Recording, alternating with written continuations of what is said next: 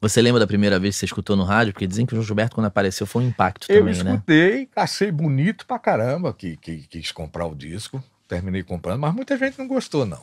É. Muita gente não, não foi se tocando muito lentamente. Inclusive, tem uma história da, da, da reunião da Odeon, que ele deve saber disso, que, que o, teve um, um diretor de vendas lá que quebrou o disco dele. Uau! É. Você lembra qual é o nome desse cidadão? aqui.